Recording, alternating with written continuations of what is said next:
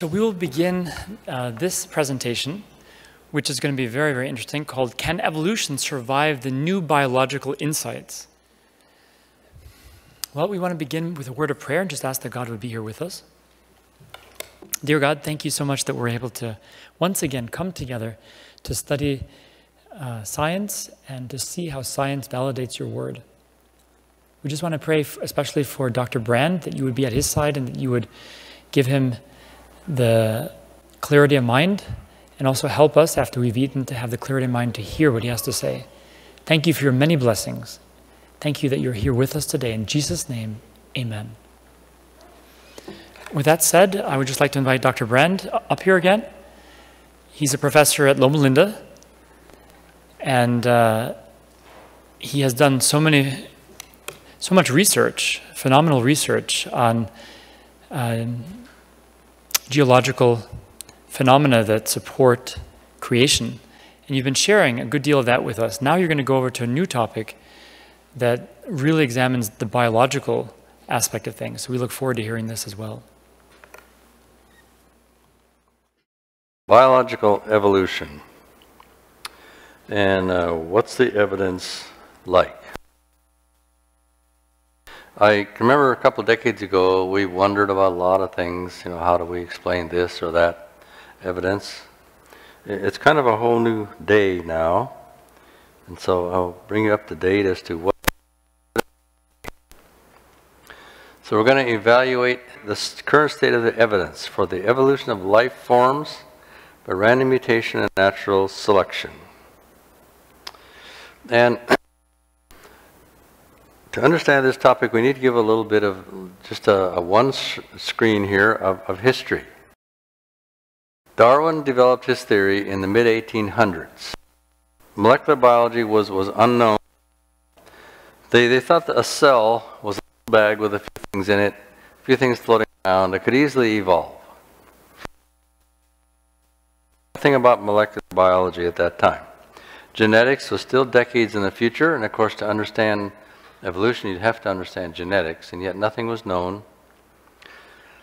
Then go fast forward to the, the 1930s and 1940s. Now there was uh, several prominent people started putting together uh, what's known in population biology, genetics, mathematical biology, and paleontology. All these fields trying to fit this together, and they developed what's called, uh, called the, the modern synthesis or the neo-Darwinian synthesis with a lot of information that Dar was unknown completely in Darwin's day. Um, this is pretty much evolutionary biology as it is understood today. Now, molecular biology was still in the uh, genetics was was a was going okay. Molecular biology is still in the future. So then you come up to um, now, the, since the 1950s, molecular biology is a field that has become um, uh, was on its way and has rapid advance recently. So a lot of information that was totally unknown in Darwin's day. And we can ask more specific, what do we know now that we didn't know a few decades ago? Well, um, there have been recent developments, very rapid developments in the last five to ten years. Rapid advance in genetics and molecular biology. And so this puts us in a new situation now to understand life. Well, some definitions just to begin with for those who are, who are not um, biologists. Microevolution and macroevolution.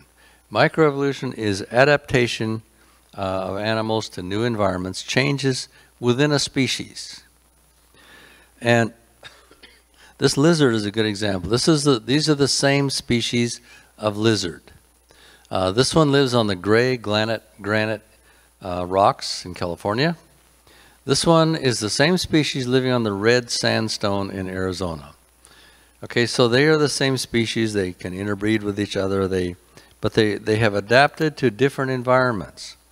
Okay, to, to make this change, you don't have to evolve any new organ systems or any new, probably any anything new really. You just um, variation within the same uh, genetic system.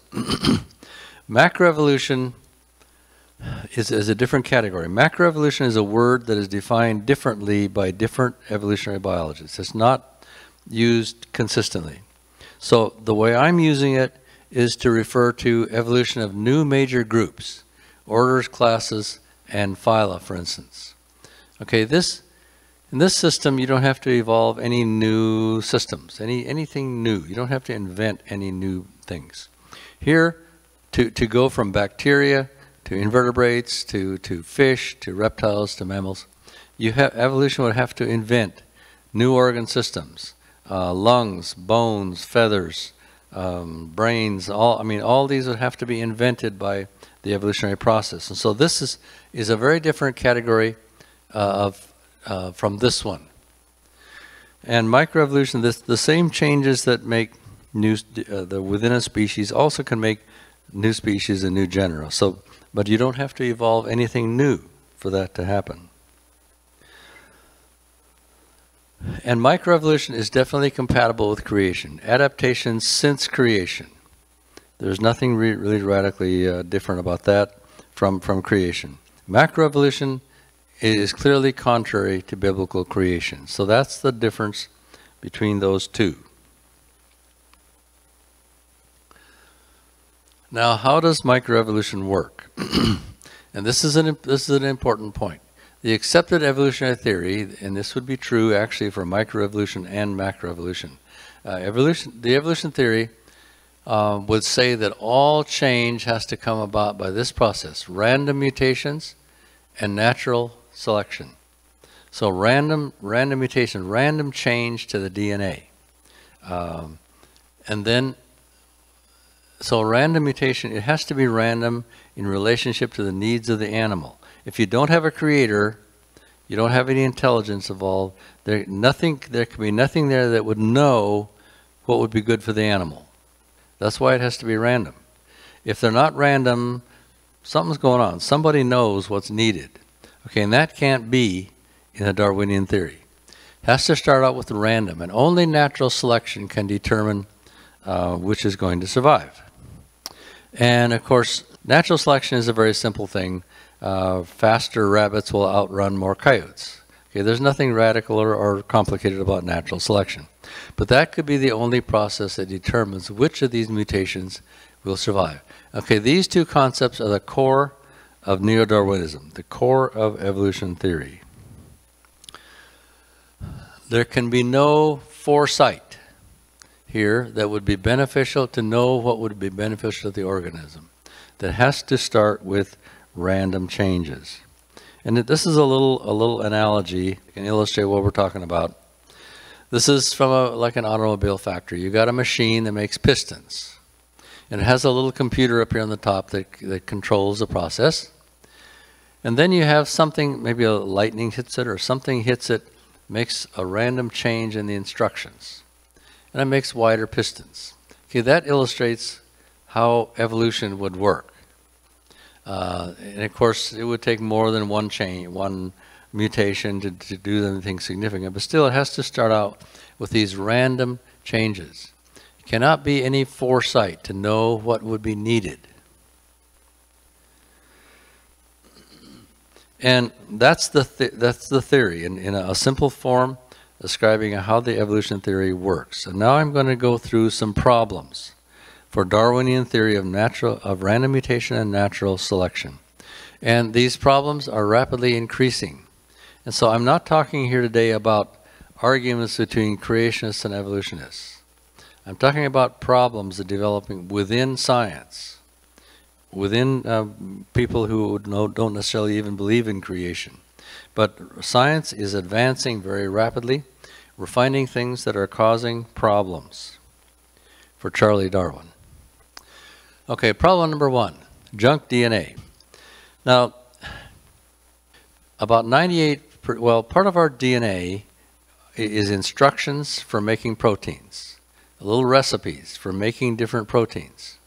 Okay, and so for decades that has been understood as being what's important. That's the only thing that, that really uh, is important. These protein, these genes that make proteins. About 98% of our DNA is is silent DNA. It does not make protein. does not do anything. Okay, so would you be willing to have 98% of your DNA removed? okay, um, and that, that silent DNA that doesn't make protein has been interpreted as junk DNA, functionless remnants of evolution. In the evolution process, there were genes that were needed, needed at some point. Now they're just junk, not doing anything. And in fact, evolution needs that junk DNA. Because how are they going to invent new genes? You have to have something to start with. You start with an old gene that isn't doing anything, you mutate it, randomly mutate it until it makes some other protein. So evolution needs that junk DNA. Well, there have been problems along the way. This is somebody made this this graph uh, from a very extensive literature review on, on junk DNA. And they find that um, the percentage, this is the percent of DNA that does not make protein. In other words, junk DNA. Okay, prokaryotes, that's the very simplest organisms. Uh, it's mostly, uh, you have very little junk DNA. Most of it is, is good protein making DNA. Then you get or more and more complicated organisms, um, plants, fungi, invertebrates, chordates, vertebrates, and finally humans. and so the more complicated the organism, the higher percent of DNA is junk. Does that make sense? Uh, why would humans have the highest percentage of DNA that's junk? Um, it looks suspiciously like the junk DNA is somehow involved in making that complexity. Why else would we have more junk DNA than the, the simple uh, one-celled things? So that was that seemed to point to, to some problems. And as the years went by, once in a while we'd see articles that that was raising doubts about junk DNA. And this is one of my favorites. It's the junk that makes us human. Could it be the non-coding DNA, that is the DNA that's not making protein, could it be that protein that makes us human? And they're finding evidence that some of this junk is actually is regulating the other DNA. And so um, the, these these uh, periodicals that would come out period, uh, you know once in a while finally reached a, a, um, a head at the time of this publication there was a massive project called the ENCODE project. It was a detailed study of human DNA by several hundred of the best molecular biologists around the world. Uh, a, a vast government-supported research project. And finally, in September 2012, they published uh, their results, 30 different articles, all published at once, and the, the, the core of those published in, in the prestigious journal Nature. And they found out that junk that uh, the supposed junk DNA controls what our protein coding DNA is doing. Con controls uh, whether or not that um, pr protein coding DNA will make a human, a chimpanzee, or a mouse. Okay, you can take um, you can take uh, the same bricks. You can build a doghouse or a palace. It depends on your engineering drawings and what you do with those bricks. And the protein are like bricks. You know, you can make a, a, a chimpanzee or a human or a mouse. And it's, it turns out that it's this supposed junk DNA that tells it what to do. It's controlling all the other DNA. And so junk DNA is really no longer even a useful concept.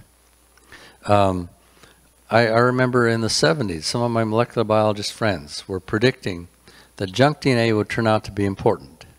And that is what has happened. Junk DNA is not junk at all. That term is not even a useful concept anymore. Um, it is the important part of the DNA, the telling what to do. Uh, DNA is like a, like a hard drive in your computer. You take your hard disk out, set it by itself, what will it do? Absolutely nothing. It, it's a huge amount of information, but a hard drive will do nothing without the management system that tells what to do with, as with that information. Well, DNA is the same. And it, it turns out that, that, that the, uh, the supposed junk DNA, that's what's important, telling what's going to happen. And that's been a, break, a great breakthrough that has raised serious problems for, for Darwinism. Problem number two. This is the, the, called the tree of life. The idea that life has evolved from very simple organisms to all these more complex types of creatures. And that's called the tree of life. It's a, um, it's the history, the history book of, of our evolution. And, um, and the, the, the idea is all the genes that you would find in this complex creature can be traced back, how they evolved. You can trace back how those genes evolved from simpler organisms. Okay, that's the tree of life. And that's facing some serious setbacks at this point. And much of this is because of new findings in, in molecular biology. Understanding what's happening inside the cell. I, I remember, what, I don't know, 10, 15 years ago, I was giving a talk to a group of academy teachers. And one of them asked me a question, says, why is there new evidence supporting evolution that, that's giving evolutionary biologists more confidence than they've had before? And that's an interesting question, and I, I will will answer that as we go along. And I can answer it better now than I could at that time because of recent discoveries. Now geneticists can uh, sequence entire genomes of organisms. Couldn't do that a few years back. Okay, and one of the biggest problems that's coming up now is the discovery of orphan genes. Being able to sequence DNA is giving insights that just were not available five to ten years ago.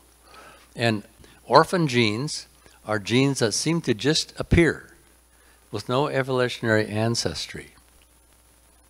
Okay, think of this tree here. If, if a, a certain gene is found in a squirrel, if Darwin was right, you'd have to be able to trace that gene back, how it changed little by little by little as you finally came up to a squirrel. A gene cannot just pop into place. That, that can't happen by random change. Okay, but now it's known that that's exactly what happens. Uh, honeybees have genes that tell it how to make honey. That's pretty cool. I, I'm, I, uh, I love honey. But how did they learn how to do that? Well, they have these genes that they have that you cannot find the ancestors to those genes. There is no evolution that that evolved, the ability to make honey evolved. It just, bam, all of a sudden it was there in honeybees. Now that's an orphan gene. And that's not a rare, a rare example. Um, there, there are at least 10 to 20% of genes, of all genes, that are actually orphan genes. Uh, humans have hundreds of them. Um, and some of them are very important in, in the structure of our human brain. Okay, so orphan genes, they, they did, there's no evidence that they evolved. They just appear, bam, all of a sudden, there they are. And that, um, I can explain that by creation. Pretty tough to explain it by, by um, evolution, by Darwinian theory. So that is a serious problem uh, for evolutionists. And I, it's been interesting to read some articles and see how they're coping with it. And there's one paper that talked about, well, you know, what, what are these things? We don't know. They looks like they just come about de novo. Now, what does that mean? Well, it sounds like creation. But of course, they will not accept that. But they're recognizing that these are, these are a strange problem. They just all of a sudden appear. If God created all these creatures, well, that's not a problem. He made each creature with the kind of genes they needed. And you didn't, there were no evolutionary ancestors to those genes. So that is a serious setback for evolution. Problem number three is epigenetics. The word epigenetics means above the DNA or beyond, beyond the genetics. Um, this is a management system that determines how to use the DNA. Remember that, that hard drive? It will do nothing by itself. You have to have a management system that tells how to use the information. Well, now we're beginning to know what that is. Sensors in the cell detect factors in the environment and they, they, it places little chemical tags on the DNA. I don't think you can see them from back with there, but here's the little pink tag, one there, one there. Um, okay, these little pink tags are representative of little tiny chemicals that are put on the DNA in different places, and they control the genes. They turn genes on or off, or, or control how they're how they're used. And this is something that is it's it's been studied since at least the 1980s, but it, only recently is really being understood what this is, what it's doing. They don't change the information in the DNA. These are not mutations. The DNA is the same, but this tells uh, how to use that DNA. Um, I often wondered what this what this means. Punishing the children for the sins of the fathers to the third and fourth generation. That that was a big puzzle. Well, now we know what that is. Here's an here's a from an article published in the prestigious journal Nature with this with this picture, and the title is "The Sins of the Father." Where did they get that? it's from this text. And epigenetics is discovering um, how things change because of the environment, and then those changes can be inherited for several generations. Um, how when, when we bring a child into the world, the factors that are affecting the parents can influence what happens with the child. Stress or what they eat, that will make these little changes in the DNA with the little tags that turn genes on and off, and they affect uh, the child. And these are not mutations. There are things that happen because of the environment, and they can be they can be inherited for more than one generation.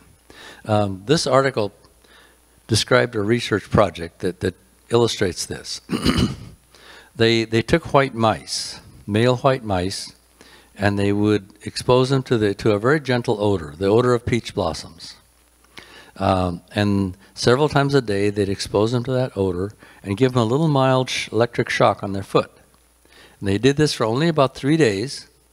And after that, the males would really respond negatively to that odor. Okay, then, then they would mate those two females that had never experienced this odor. And the babies, when they were exposed to that gentle odor, they would have the same reactions as their fathers that same negative reactions. And there were even anatomical changes in the, in the olfactory part of the brain. So they had not never experienced those shocks, and yet they inherited those changes by these epigenetic processes. These are not mutations. The, the father's experience put these little tags on the DNA, and the, the babies inherited it. And that was inherited for several generations. Okay, so these are not mutations. This is not evolution. This is epigenetic management of the genetic system. And it, it's, uh, it's becoming more and more understood. It's a very important factor in um, our inheritance system. Um, and these can last for several generations. And I'll give another example of that. Blind cave fish. How did they become blind? Well, for years I've taught my students the standard explanation. And that is, fish were in a cave, there's no light, and so random mutations destroyed their sight. And since there's no light, they can't see anyway in the cave, it didn't matter. And so natural selection would not eliminate those. And so that's how they became blind. Well, um, I also tell my students sometimes that uh, half of what we teach them is wrong. The problem is we don't know which half until science moves on and makes discoveries. Well, we know now that this is wrong. What I was teaching them was wrong.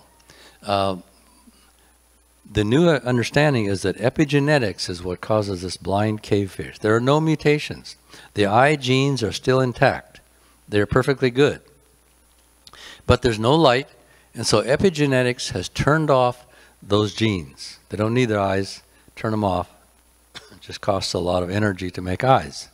Okay, that's the new explanation. And there are just a lot of, more and more of these things are being discovered uh, uh, that are a matter of epigenetics. Actually, for, for decades, we were all very naive um, to think that the DNA by itself is enough. Because it's like, think about that hard drive. I mean, we never, biologists never thought about this. You, just the information, the DNA is not enough. You have to have a management system to decide what to do with that information. And that's what epigenetics is. Okay, so why am I saying this is a problem for Darwinism? The problem, the reason it's a problem is because in epigenetics, the environment influences uh, and initiates changes that have three characteristics. They're beneficial, they're inheritable, and they're non-random. Remember the, the core of Darwinian theory. Any new change in evolution has to start with random mutations. If they're not random, somebody's meddling with the system. Somebody who knows what will be beneficial is influencing what happens. And these are not starting with random changes. They're, they're not random. And they're inheritable. All these things are, are, are uh, they just can't be in, in Darwinian theory. And yet there's increasing evidence for epigenetics. It, it's something very real. And so it's causing headaches for, for evolutionary biology. And they're not dealing with it very well. Okay, how can, how can this happen? Beneficial changes how can this happen unless there is somehow intelligent awareness behind that system? Now, I don't think God is causing all these little changes all the time. But, but somebody who knows made the system. The designer made the system to know what is needed and what will be beneficial. Uh, and that is, a, is anathema to, to um, evolution, to Darwinian theory. So this is causing, like I say, really big headaches for, for evolutionary biologists. And it's epigenetics, they're trying to sort of almost deny epigenetics, and yet it seems to be here this to stay, and it's growing, the evidence is growing stronger uh, every year. Problem number four, irreducible complexity. Okay, here's a, a, um, a, a bacterium. It has a little tail, that, that spins around and it moves the bacteria. Um, one of the faculty in our department does research on these. They're fantastically complex little systems. And this thing doesn't just whip back and forth. It spins. There's an electric motor right here. There's an electric motor that spins this thing. It, it's actually a proton motor, but it works just like an electric motor. It, it makes this thing spin and uh, it whips this thing around and makes the bacteria move. So it's got all the complicated parts that an electric motor has. Okay, now you think if you're, if you're trying to evolve this system, if you got half of this in place, uh, will it be useful? No, it won't do anything at all. You have to have the whole thing there um, before it will work. That's what's meant by irreducible complexity. The complexity has to reach a certain level before it will work. And uh, if you're starting, if you're trying to do this with random mutations, how are you? How is it going to work? How are you going to randomly make this part and then this part and then this part? It won't do anything until it's all there and all works. That's irreducible complexity. And our body is full of features, of structures that are irreducibly complex. They won't work until they're all there. And so how can you evolve that? Uh, how can you make a motor by chance and you, you have half of it there, I mean a, a, car, half of it there, the other half isn't there, it won't work until, it's, until all the important parts are there. Uh, this thing is irreducibly complex. If you take out the lungs or whatever, I mean different parts, it won't work. And nature is full of irreducibly complex things. Okay, so that's a serious problem for evolution. And this is a whole big topic in itself. Uh, there's a book by, by Behe uh, called Darwin's Black Box. It will introduce you to this topic. But life is full of these irreducibly complex parts. They have to all be there before they will work. And Charles Darwin does not have an explanation for that. Problem number five. And this kind of takes these four things I've talked about and puts them together and, and with new insights from molecular biology. There are a group of, of biologists called new evolutionists, and they recognize that Darwinian random mutations and natural selection don't work. They're, these are molecular biologists, and, they, and they're understanding that the cell now is so sophisticated that random mutations just can't be a part of that system. They won't work. Um, new genetic information must arise some other way than by random changes. Now, these people I'm talking about here are not creationists. Well, certainly there are creationists who think this way. But the, the primary researchers I'm referring to are not creationists. They just recognize that Darwinism doesn't work. And here, here's one. His name is James Shapiro. He wrote a book, Evolution, A View from the 21st Century. and he's, he's very candid, and I like the way he talks. The modern evolutionary synthesis concluded an ad hoc assumption. Okay, what's ad hoc? An ad hoc idea means one that is not based on evidence, but it's required by your theory. Okay, an ad hoc assumption about the random nature of hereditary variation.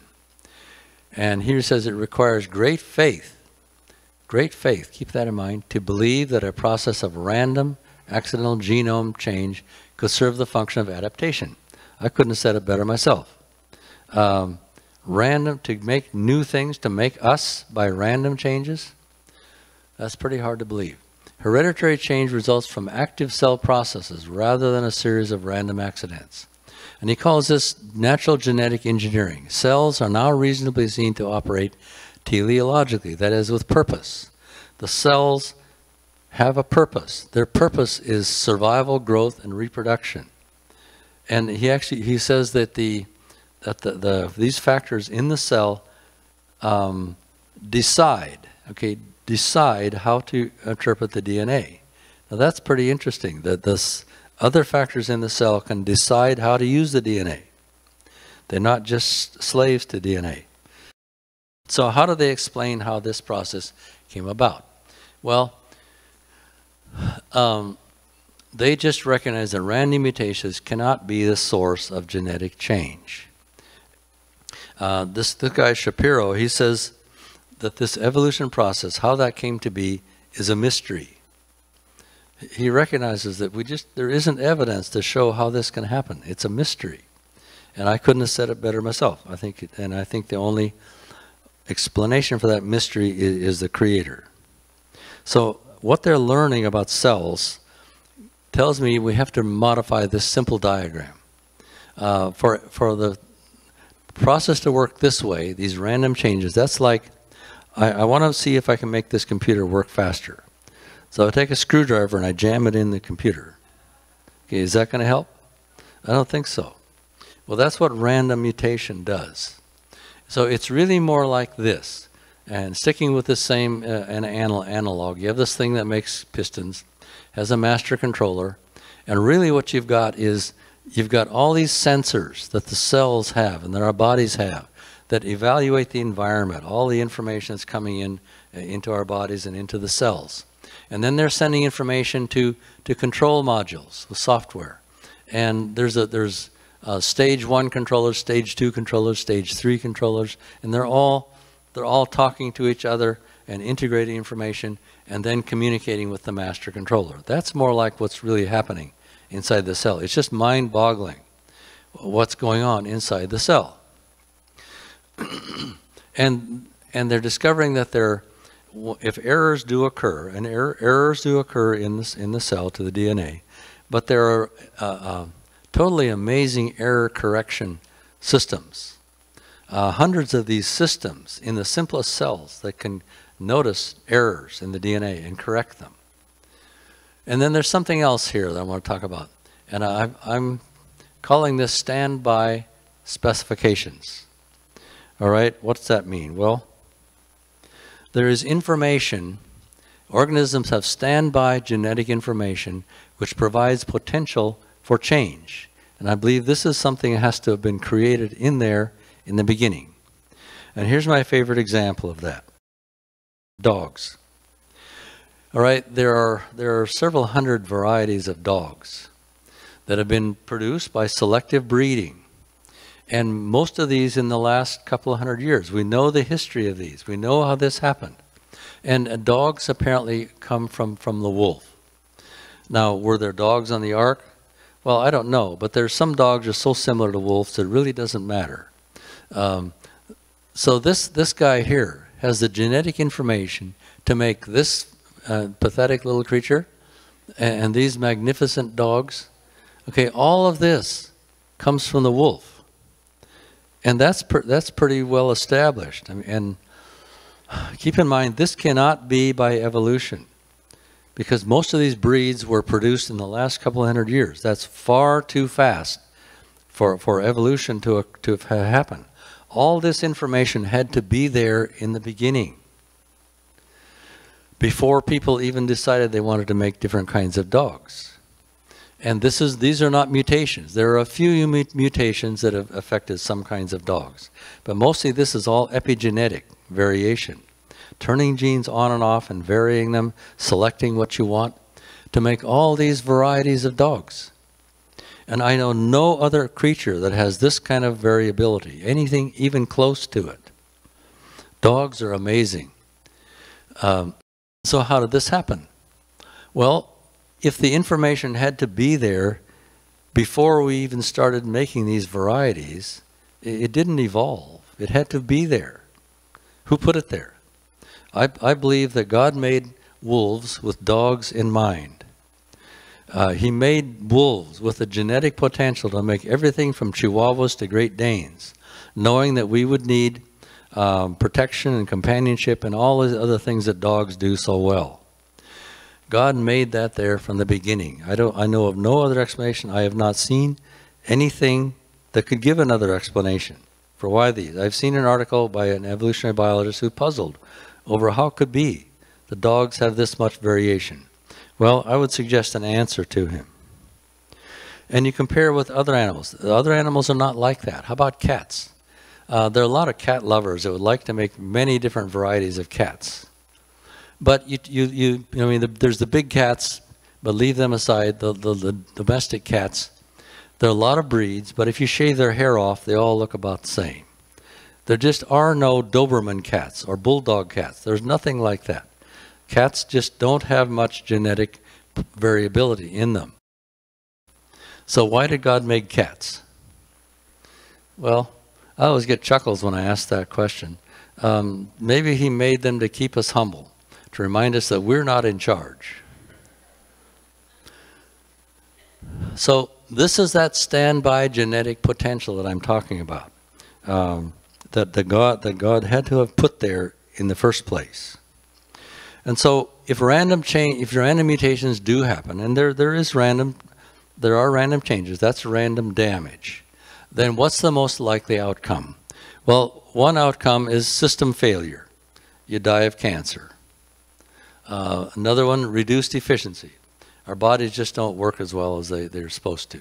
Anybody experience that? Um, or the third one, mutation is eliminated by the error correction system, and that's probably the most common. Now, of course, mutations do get through. In spite of the, the wonderful error correction systems, some mutations do get get through. And so that's why the human race is degrading. Some geneticists say our, our DNA, our, our genome is degrading about 1% per generation. Um, the human race has problems. And you trace it, you go from the, the after the flood, you look in the Bible, the ages of after the flood, and then you go from generation to generation, and those ages drop like this. That's, an, that's a biological decay curve. Something is wrong. After the flood, mutations are doing their, their, their damage. And uh, one thing this tells us, if we're getting worse each generation, how could we have been here for millions of years? We would all be dead. Um, there's a good book on that topic by a man named uh, John Sanford.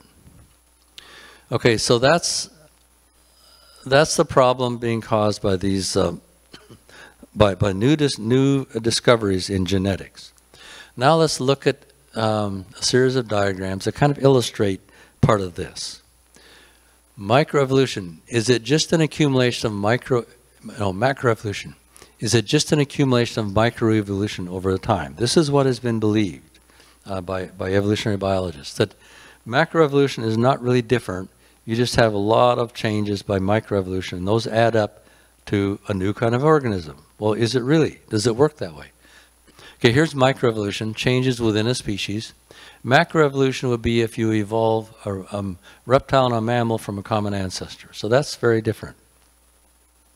And in this diagram, um, microevolution and macroevolution, this is the, they've been thought to be the same process. So they're going along together. But new new evidence is, is showing, well, maybe that's not really quite like that, quite right. Macroevolution seems to be a different process from microevolution. Macroevolution is different. And, and the evidence, I would say, is pushing it farther and farther apart. new information is saying, no, macroevolution um, is different. And notice these green lines. In my diagram, that's the boundary line between naturalism or material atheism and creation. So if this would go up into this area, now we got, we're requiring creation to somehow be involved. And so what's really happening? Well, micro, understanding of microevolution is changing. Microevolution and the, the development of new species.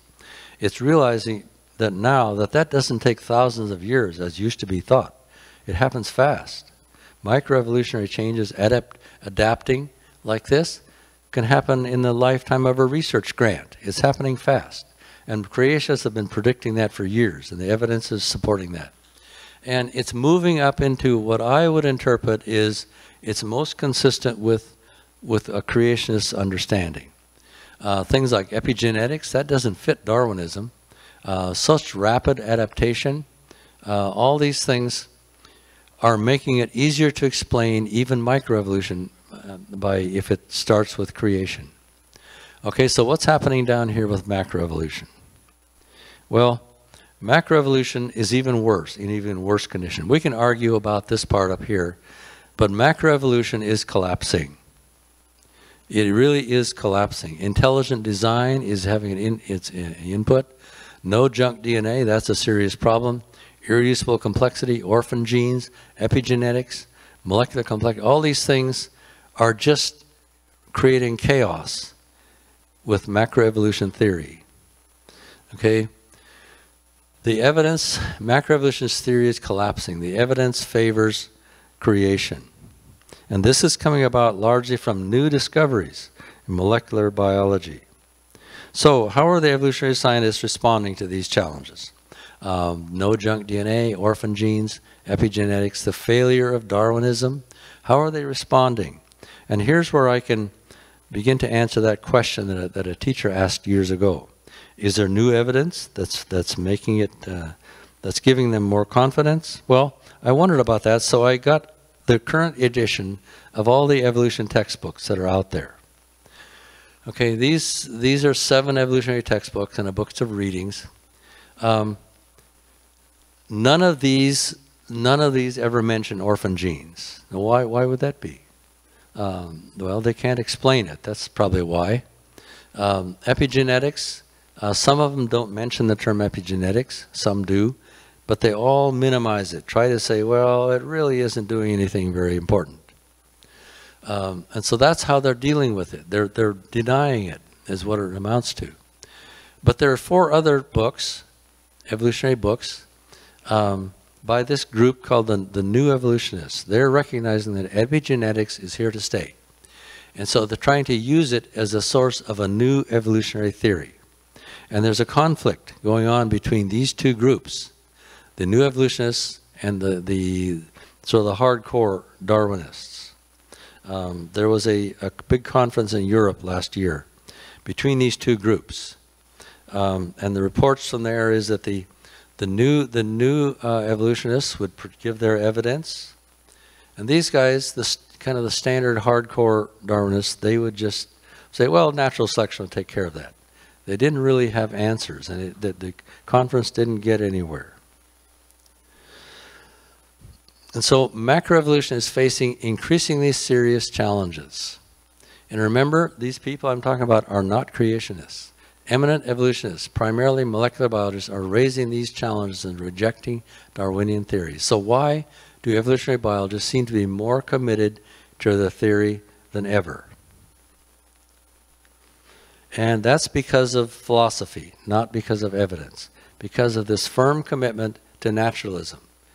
If, if, you're, if you think as a naturalist, you will not accept the idea of creation. You just can't to do so would be to change your whole worldview, and they're not willing to do that. They don't believe, they really believe in, in evolution, and they're not willing to consider any uh, objections to it, even in spite of the evidence. So here in this diagram now, kind of puts a lot of this together. Um, our Darwinian theory is collapsing largely because of the molecular challenges. And now here we have, this is the green line, remember, if your explanation goes outside of that, now you're acquiring creation. Well, here are several names Shapiro, Denton, Mueller, Pigliucci. Um, these are, are not creationists, but they recognize that Darwinism doesn't work. So I still have their names here below this green line. They're not creationists. But here we have what I'm calling hardline Darwinists. And some prominent names, uh, Dawkins, Jerry Coyne, Pennock, etc. Uh, these people, they're unwilling to recognize what these guys are saying, that Darwinism doesn't work. No matter what the evidence, they're hanging on to their, to their Darwinian theory for philosophical reasons, in spite of what the evidence says. Okay, so there's this conflict going on between these guys and these guys. And so that's what's happening out there in, in science. It's not just the creationists against the evolutionists anymore. But you have this, this, this argument between these different groups um, who are not ready to become creationists, but this group generally says Darwinism doesn't work. These guys hang on to it um, tooth and nail. They're, they're not willing to change. Okay, conclusions. Darwinian theory of, of evolution through random mutations is facing deadly challenges. And I'm, I'm saying it's collapsing. You could just say it's dead. Uh, quite frankly, it's dead.